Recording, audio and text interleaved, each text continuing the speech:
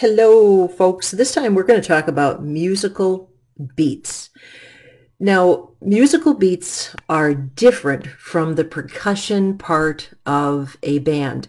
Uh, percussion, I mean like the drum, the drummer going bam, bam, bam, bam, bam, and keeping the beat, that beat that you dance to, the beat that's really nice and fun in the background of music.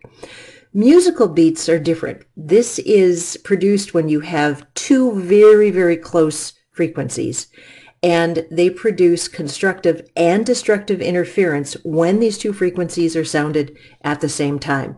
Now, I'm about to make a very strange sound. So musical beats, due to these two similar frequencies, are going to produce something that kind of goes wow, wow, wow, wow. And they can vary in speed so that you can have wow, wow, wow, wow, wow, wow, wow, wow, wow, wow. Or you can have a very long beat frequency that's wow, wow. And this is due to constructive and destructive interference of sound. Now, you can calculate the beat frequency of two musical sounds. Um, it's simple. It's probably the simplest mathematical equation we have through the entire course.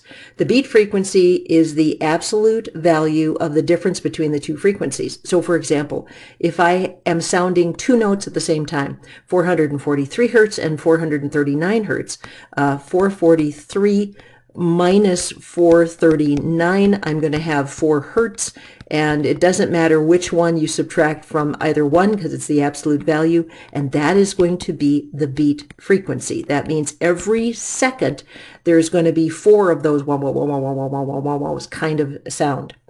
Now you might be asking, Mary, aside from making funny noises, why are you talking about this weird and crazy stuff? Well, I'm talking about it because musical beats are used to tune musical instruments.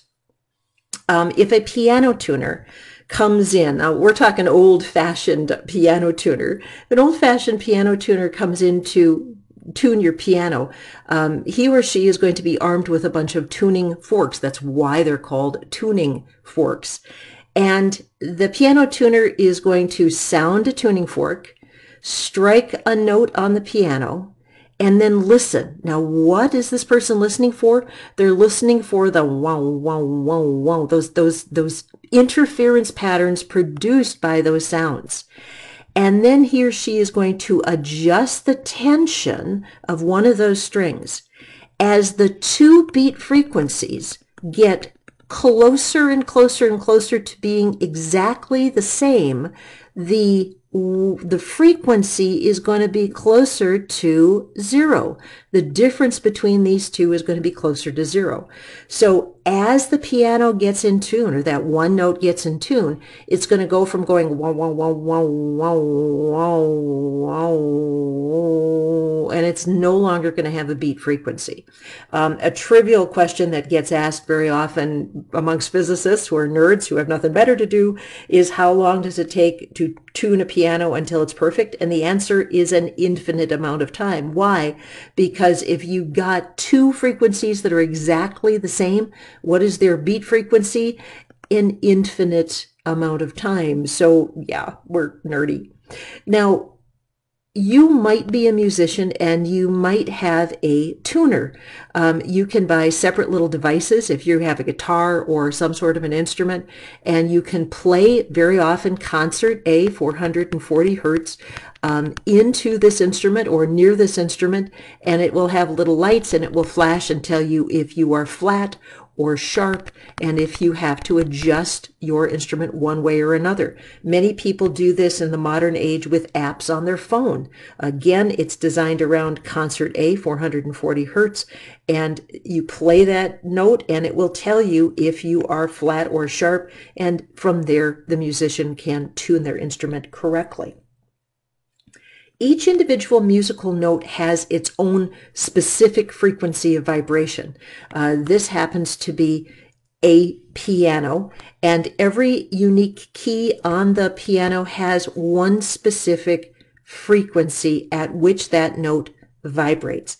Now, there are different musical scales. This is one, uh, people who are professional musicians who know all of the mathematics of music. There are slightly different musical scales, and this is just one that I captured, uh, one chromatic scale. And there are others that are, the math is slightly different, or the, the frequencies are slightly different.